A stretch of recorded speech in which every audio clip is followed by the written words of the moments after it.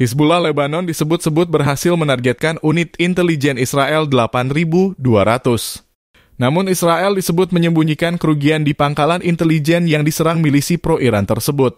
Demikian diungkap sumber yang dekat dengan Hizbullah kepada Al-Mayadan pada Kamis 29 Agustus 2024 laporan tersebut mengklaim sedikitnya enam pesawat tak berawak berhasil menghindari dan lolos dari pertahanan udara Israel. Kemudian drone tempur Hizbullah menyerang pangkalan intelijen Glilot dan melukai unit intelijen Israel 8.200.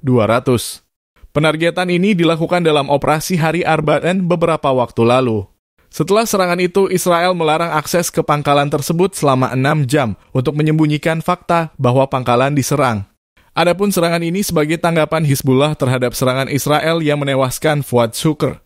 Sebelumnya, rekaman CCTV yang ada di sekitar pangkalan IDF bocor ke publik.